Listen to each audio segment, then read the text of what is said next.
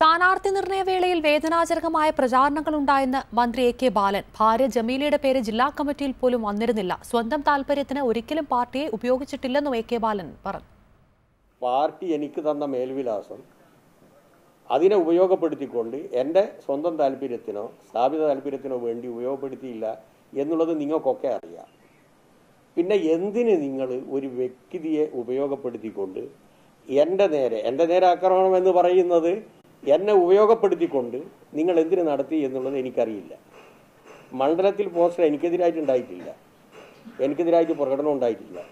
എന്നിട്ട് നിങ്ങൾ കുറ്റ്യാടിന്റെയും പൊന്നാനിന്റെയും വാർത്ത വാർത്ത കൊടുക്കുന്നതോടൊപ്പം തന്നെ അതിന് സമാനമായിട്ട് ഇവിടെ ഉണ്ട് എന്നാണ് പറഞ്ഞത്.